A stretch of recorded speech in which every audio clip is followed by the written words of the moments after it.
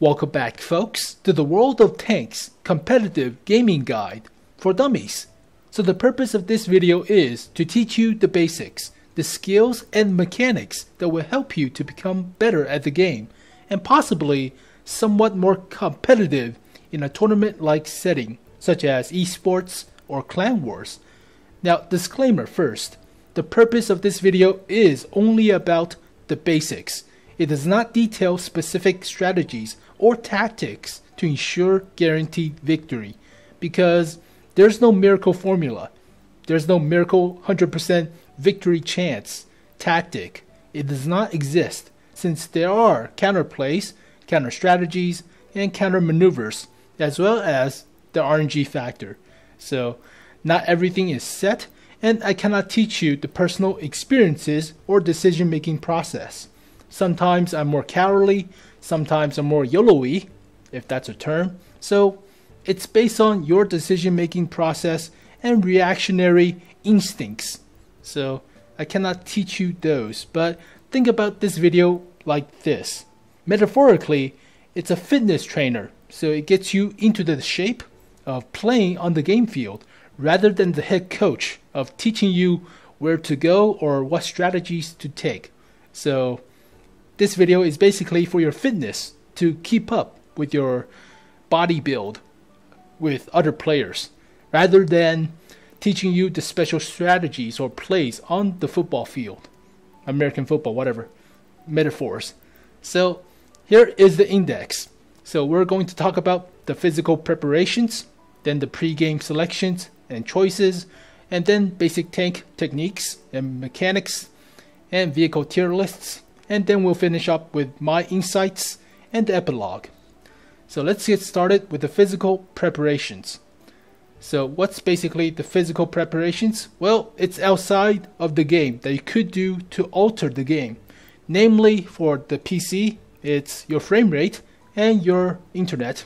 So you should run World of Tanks at 60 frames per second and less than 100 milliseconds of ping latency. So if you run at low frame rates at high ping, you would have trouble with shooting your targets, adjusting your tanks with different maneuvers, and driving into a ditch or into the water. So a bunch of other problems rises from your computer's insufficient handling of the game.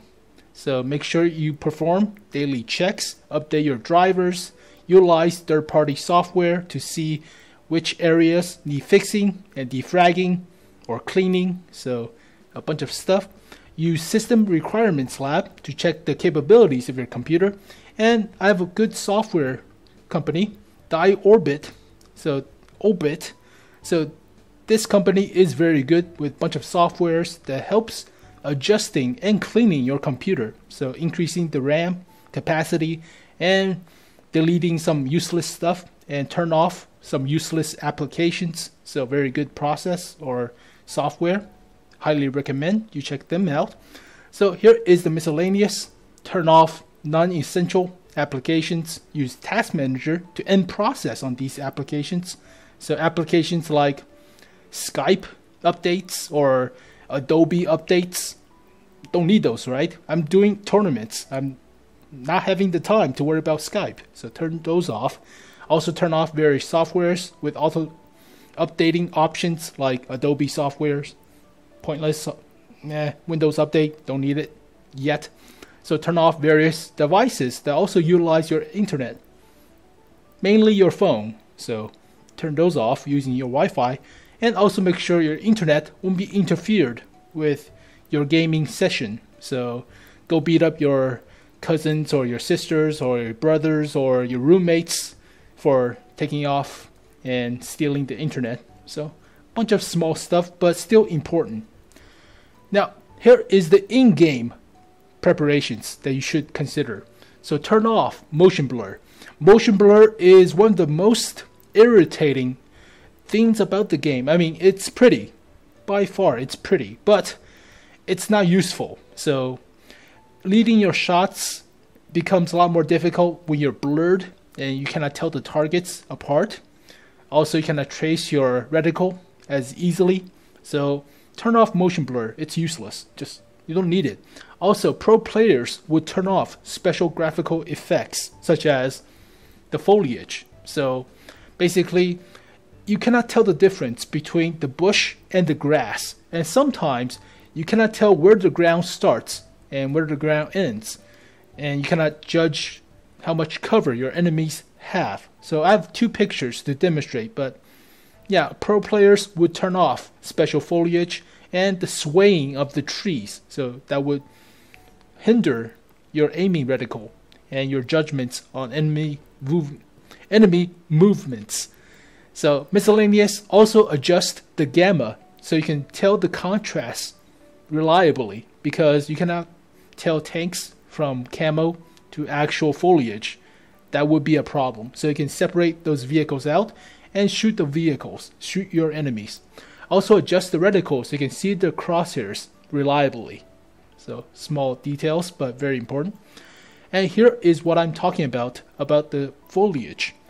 So as you can see, this is with the max setting right here. And this is with the bare minimum setting. So you can see the difference that this bush have. So I thought this was the ground right here. So I thought this was the ground and I could only shoot at the turret of the KV-4. It turns out that's not the case. You can shoot the lower plate or the middle plate, which is easier to penetrate than the machine gun mini turret on top, the mini cupola turret. So, yeah, it's a big difference, and sometimes you think that you're hull down when you're actually not. So I thought this was the line, and my hull was covered, so I'm hull down, and I have a bouncy turret. Nope, that's not the case. You can easily shoot at your lower plate because this is not actually the ground. So make sure to adjust accordingly. And here is about ergonomics. So ergonomics is basically the effectiveness effectiveness of your positioning. So your keyboard layout and your posture. So make sure you sit upright with comfortable and effective key settings because when you're panicking, you have to press buttons quickly, such as repair tracks or fire extinguishers. But if you press the wrong button, you get dead.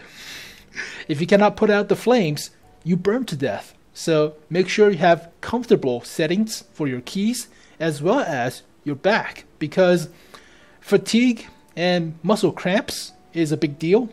If you get carpal tunnel syndrome while playing a tournament, you will mess up your shots, give away your position, and you would cost your team the game. So not going to be that effective, right? So make sure you sit properly with good comfortable layouts on your keys and mouse. And here is the pre-game selections and choices. So the physical ones are have a good night rest, simple enough, have a high energy meal before the tournament, and finish with your personal digestive cycles, the toilet, the latrine, obviously, and there are various stimulants to improve reaction time. Basically, caffeine or energy drinks, so you can drink a lot of coffee or monster energy drink or Red Bull, if you will. Now, here is the in game selections. So, crews use vehicles you have accustomed to and have experience in. So, fully trained crews is a lot better than 75% or 50%, obviously. Also, for crew skills, the main three is Sixth Sense, Camouflage, and Repairs. That's the main ones. That's what tournament players always use. The secondary ones are Brothers in Arms, Recon, Situational Awareness, Snapshot, Off-Road Driving, and Safe Stowage. So if you already have the top three, have the secondaries. Equipments for damage-oriented vehicles is Rammer, Vertical Stabilizer, and Enhanced Gun Laying Drive. For support-oriented, it's Coated Optics and Vents. The rest of the equipments are mostly useless because they are conditional equipments such as spall liners or toolbox. You have to get hit for those to work, right? So the main purpose of those are for you to take a lot of damage, but in tournament settings, you would try not to get hit because it's a lot of gold shells. So do not get hit. So basically those equipments are thrown out. They are useless. They do not contribute to you winning. Also for consumables, large repair kits, large first aid kit, national food thing, so the food, and fire extinguishers, the automatic fire extinguishers. So that's it. Do not use the regular ones because they don't provide the bonus and they're not as effective. Sometimes a lot of players would use gas, but that's fringe situations, so it doesn't usually happen. As for the ammo loadout, make sure you have a few high explosive shells to reset base capture. Make sure not to fully go with all gold shell because sometimes you would want the high velocity of the shells rather than the high penetration of shooting low armor targets like light tanks.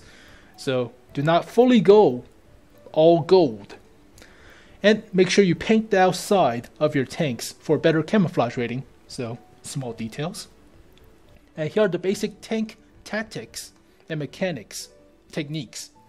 So the first one is the obvious hull down tactics. It's the exposure of your only your turret and basically positioning to cover up your hull. So therefore utilizing your turret's armor and your gun depression to shoot at enemies and to avoid return fire. So minimize exposure to return fire and mainly exploited by vehicles with above average gun depression. So here you can see example. I'm playing my T29 utilizing the hill right here to shoot at enemies on the other side of the hill. And they cannot shoot at my hull, they can only shoot at my turret. And it's a small target as well, so they're missing. That's basically hull down position. And here is circle strafing. So what is circle strafing? It's basically a fast vehicle outmaneuvering a slow traversing vehicle so you can shoot at the sides and the rear. So the ability to engage an enemy and hopefully avoiding return fire because their turrets are slow or they don't even have a turret with the superstructure. So utilize speed and mobility on a few select vehicles and it's mainly light tanks and medium tanks, but you could do it with heavies.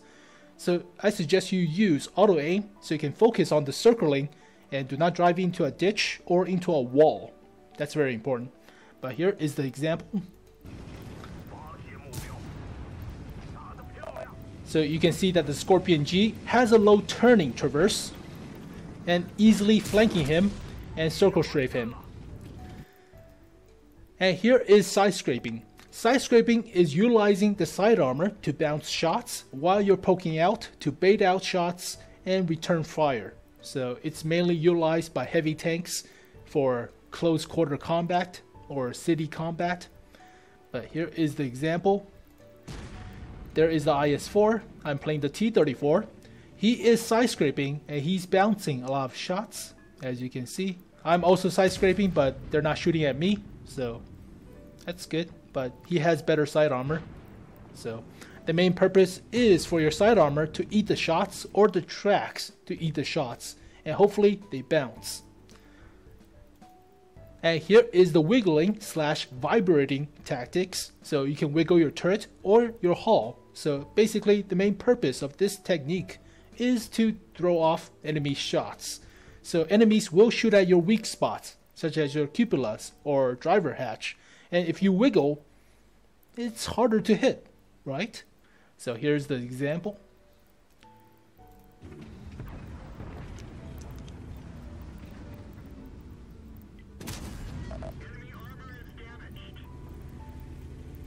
As you can see, I'm wiggling my T-34's turret. And he did not shoot at my cupola. He tried to, but he missed. So, yeah, wiggling does save you from getting hit. And here is the tracking to outmaneuver. So a lot of vehicles have slow traverse and it's a lot easier if they have their tracks blown off and could only traverse the turret or could not traverse at all. So you should shoot at the main spots, which is the drive wheels right here. You could shoot at the road wheels for more, you know, reliability of hitting the target, but the main weak spot is the drive wheels to detrack. So here is the example. As you can see, it's a Yak Jagdtiger, shoot the tracks, and he becomes disabled. So I can easily outmaneuver to the back of him, and he is dead with my teammates' help. So, pretty simple. And here is face hugging, or stare down, which is basically two tanks staring at each other, And based on the frontal armor, you should bounce a few shots. And if you wiggle, it's harder for them to hit the lower plate or your weak spots like commander hatches, cupolas, or whatever. So here is the example. We're by ourselves. I decide to go to the T-54, but there's a Pan KR. Let's bully him. you think you're a tiger? I'm a grizzly bear. I don't care.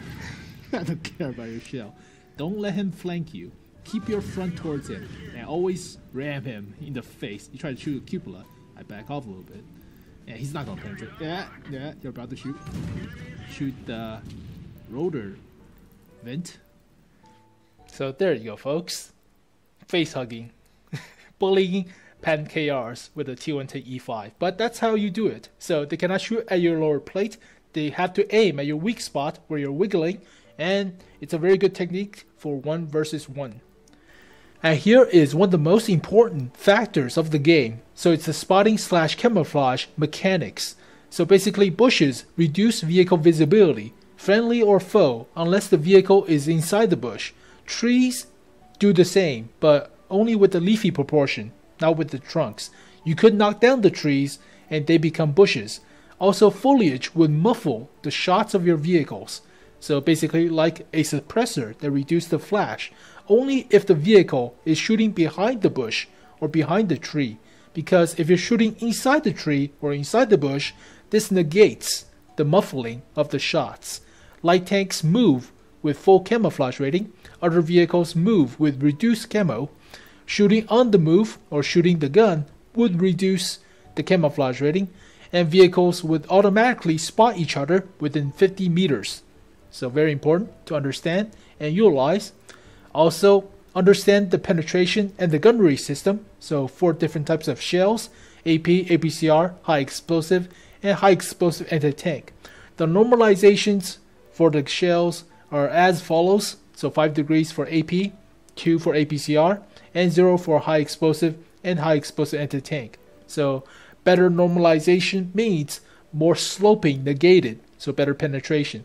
Also, penetration loss over distance is APCR over AP over high explosive and high explosive anti-tank. So you lose more penetration with APCR. Also, high explosive and high explosive anti-tank lose a lot more penetration with heavy space armor, such as tracks, mantlets, periscopes, guns, or even appliqué armor plates. Sloping does increase the effectiveness of your armor plating, but it also defeats high explosive anti-tank and APCR a little bit more reliably based on the normalization. So, small stuff, but very important. And here are the vehicle tier lists. So it's based on my opinion from a Unicum standpoint and the current metagame. So just understand that it's only opinion based. But here is the list for tier 5. So KV1, very good. KV1S, OI experimental because the alpha and the HP and the view range. And the T67, very good tank destroyer with mobility, speed, DPM, camo, and view range. The Sherman is pretty good, so is the Chaffee. The KV220-2 is pretty good as a secondary, T1 Heavy, and the Ram 2, so you can read about it. Here is the Tier 6, preferably the Cromwells, Sherman EZ8s, and maybe the T37 Type 64. So all are pretty good choices.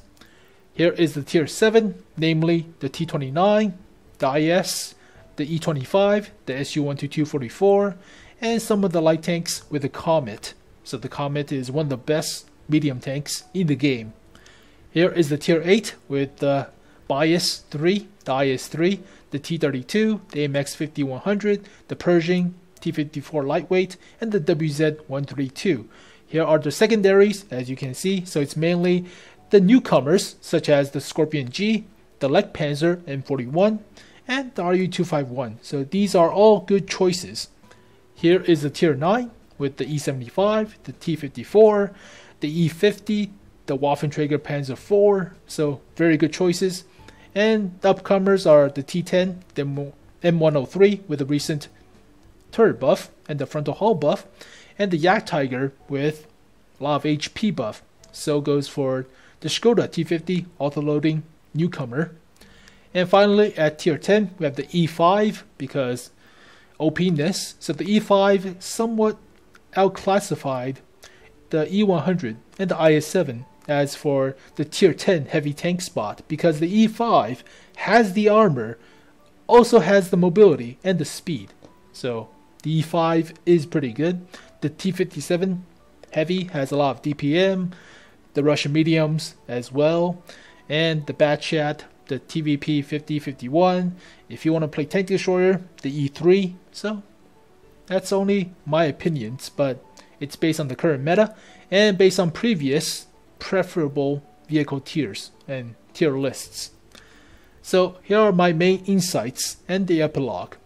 So it's always about you spotting your enemies and adjusting and then reacting. So if you can see them first and get your shot off, you would likely win. So this is characteristic of normal combat in actual warfare, characteristic of online gaming such as FPS or real-time strategy or MOBAs. So it's always sight and prediction. So if you know where your enemy is or if you know where they're going to be, then that's very important. So that gives you the edge over them. So then reaction is subsequent, but the important part is understanding where your opponent is and how they're going to behave. So the mini map and recognizing the mini map is one of it. So it's a factor of sight and prediction. But if you want to quickly understand how everything works, so the very simplest example is the OODA loop. So observe, orient, decide, and act.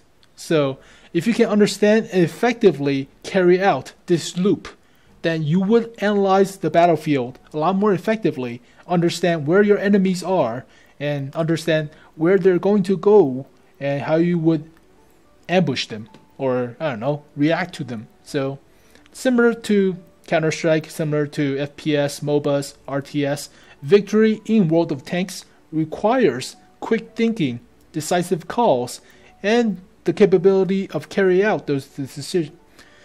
Those decisions with or without your teammates. So sight is very important, then prediction, then reaction, and then repeat. So battlefield experience is best learned personally rather than being told.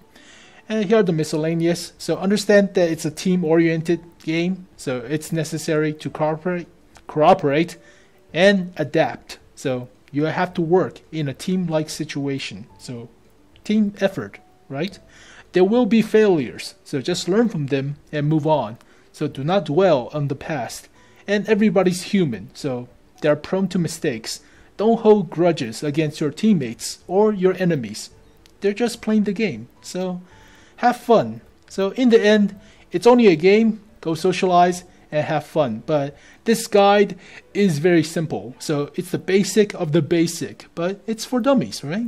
So hopefully you guys learn something about playing World of Tanks, learn something about the easy or basic mechanics of the game so you can understand how to perform a little bit better and be more competitive. But thank you guys for watching this video. Hope you guys enjoy it. I'll see you guys next time. Peace.